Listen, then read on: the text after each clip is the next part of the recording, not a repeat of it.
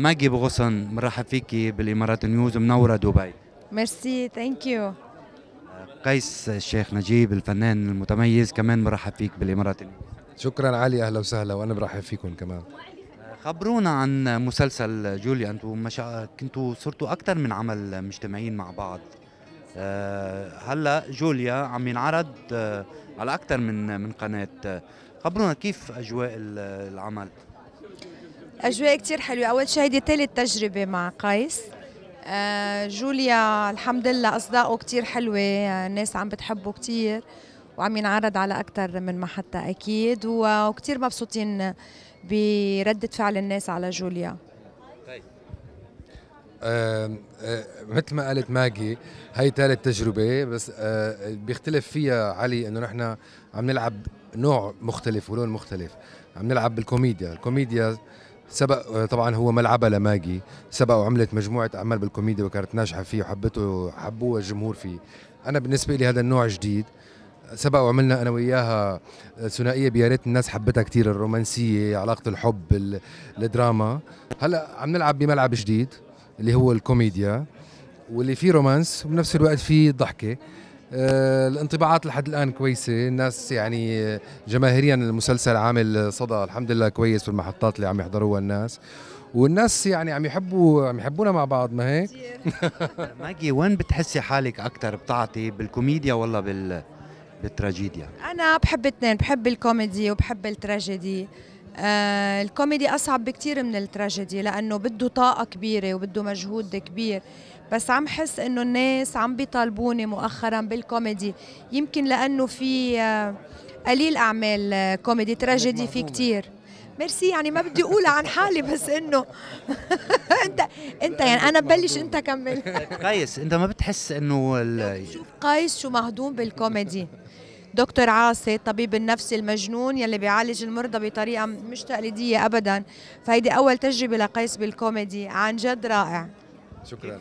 كيف حسيت في صعوبة ب- ب- بأداء الكوميديا؟ عندك يمكن الجديه يمكن بتكون أسهل. مش هيك؟ الكوميديا من أصعب أنواع التمثيل. صدقني إنك أنت تعمل ضحكة تخلي الناس تضحك وفعلا من قلبها. هذا كتير صعب. الممثل الشاطر آه، دراميا فيك تخلي الناس تبكي. إذا أنت يعني أي حدا فينه يبكي على الشاشة بس انك إنك ترسم بسمة وتخلي الناس تضحك تضحك هذا شيء ما سهل. الكوميديا من أصعب أنواع الأداء يعني لأي ممثل في العالم. آه، أنا انبسطت بالتجربة وفعلا كان بالنسبة لي مغامرة يعني ودخلت فيها لل- للأقصى والحمد لله يعني النتائج لحد الآن منيحة يعني. في ناس آه، علقوا ريتشي على ال social media عم بيقولوا إنه ماجي بغصن عم بتكرر حالها بهذه ال- الأدوار. إذا آه، بتعرف فكرة المسلسل الناس يلي عم بتقول هيدا الشيء أول شيء هن عشر كاركترات عم بيلعبهم بالمسلسل. كل character مختلف عن الثاني عندك الرقاصة عندك الرومانسية الحرامية الحسن صبي. وتباعا للكاركترات اللي ما بدي يعني أحكي عنها بعد ما نزلت. آه، في عشر كاركترات كأنهم عشر مسلسلات فمستحيل يكون آه، في في تكرار. بتحضروا شيء هلا في شيء تحضير أفلام خصوصا ما شاء الله يعني انعشتوا ال- الد- الدراما اللبنانية من خلال ال- الأفلام اللي عم عم تعملوها. في شيء جديد عم تحضروا له هلا حاليا؟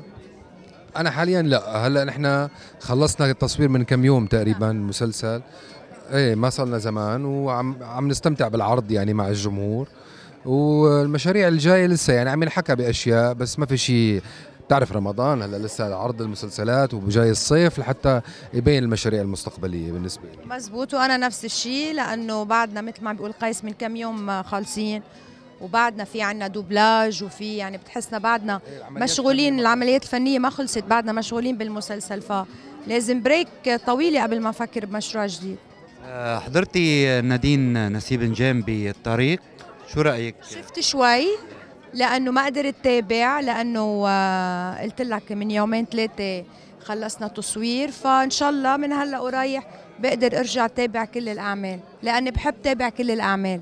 في أعمال معينة شدتك أو شيء حبيتي؟ آه، عم بحضر تانجو وليالي أوجيني حاليا ما عم بقدر لحق على كثير مسلسلات تانية بس كل المسلسلات بحب أحضرها لأنه بحب شوف مجهود وت- وتعب كل الزملاء.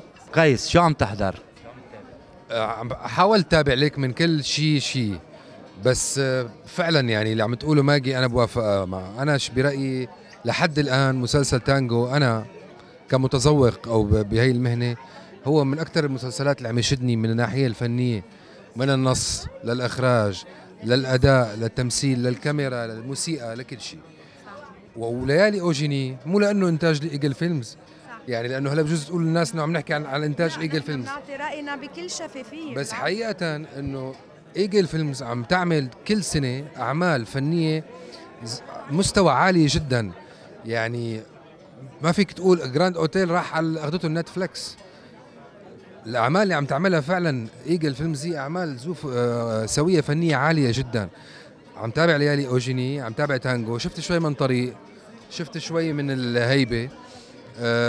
شفت آه، يعني مجموعه هيك أعمال سورية آه، مسلسل اسمه فوضى. بس ما فيك تشكل لسه انطباع لساتنا بأول رمضان نحن يعني. شو رأيك بتيم حسن بالهيبة هذه السنة؟ آه، من أي ناحية؟ نحن بنعرفك إنه أنت صريح بتحكي. يعني في تيم حسن وفي عابد فهد يعني زملائك من من سوريا. كيف شفتهم بادوارهم هسه؟ يعني ليك هن ممثلين لهم تاريخهم وبتعرف أنت يعني آه، وعاملين عاملين أعمال كثير سابقة آه، بطولات كثير كبيرة قبل هلأ. آه، أنا ليك بالنسبة إلي موضوع مسلسل الهيبة هو يعني أنا ما بيجذبني يعني أنا كمشاهد عرفت شو قصدي؟ الموضوع عم بحكي عن موضوع تسويق للعنف ولل شبعنا عنف و... ودم ببلادنا العربية؟ يعني بحس إنه لازم بقى نروح نبعد عن هاي المواضيع. هو كممثل ممثل شاطر. طيب ما في اثنين يختلفوا عنه إنه هو ممثل شاطر وموهوب بيعطي كل كل شخصية حقها يعني. عابد فهد عم يلعب بمنطقة جديدة بطريق بس كمان ما فيني أحكم كتير. شفت كم حلقة علي؟ بدك تشوف الشخصية وتطوراتها يعني. أنت اللي تشوف الممثل شو عامل بدك تشوف بدك تشوفه بكل حالاته. بس هو عم يعمل شيء مهضوم يعني بشكل عام. سبقا تعرضت لانتقاد لأنك أعطيت رأيك بزميلتك نسرين طافش. ما صرت بتخاف إنك تعطي رأيك بأي شيء؟ أنا ما أعطيت رأيي فيها كممثلة. موضوع ما بدي أحكي فيه كتير. أنا انسألت فعلا قالوا لي إنه إنه هي كانت بتغني. ما كنت بم... أنا بعرفها ممثلة. وقلت لهم هي ممثلة جيدة. هي عم تلعب ب... ب... ب... ب... بمجال تاني يعني. ما كثير بدي بدي أحكي بالموضوع. الموضوع يعني شو بدي أقول لك أخذ حجمه أكثر ما بيستاهل. أنا حكيت عنها ك ما كنت بعرف إنه هي مغنية وحكيت إنه هي ممثلة جيدة. طيب آه، ماجي مين نجمة لبنان الأولى هلا بال... بالدراما؟ كل الممثلات نجمات. ما في نجمة أولى ونجمة عشرة ونجمة خمسة أنا دايما بقول السما كبيرة وبتسع نجوم كبار نجوم كتار. نحن منا بعملية حسابية واحد زائد واحد بيعملوا اثنين. كل م... كل ممثلة إلها جمهورها وإلها ميزاتها وإلها حلاوتها وإلها الناس اللي بحبوها فالكل يعطيهم ألف عافية كيف بتقضي آه، شهر رمضان؟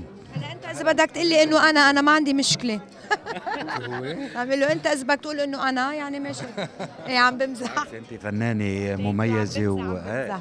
طب كيف بتقضي شهر رمضان؟ تصومي أول شيء؟ آه، حسب يعني أوقات بصوم أوقات ما بقدر إذا في تصوير وهيك أه بقضي شهر رمضان يعني بيدخل شهر رمضان بكون بعدها مخلص تصوير. بس كمان أنا بحب شهر رمضان بحب حضر إفطار بالبيت. دائما بأول رمضان الإفطارات بتكون بالبيت. بعدين بآخر الشهر الفضيل بنصير نظهر مع الأصدقاء والأصحاب. بتمنى لكم كل التوفيق يا رب. ميرسي شكرا, شكرا. شكرا حبيبي.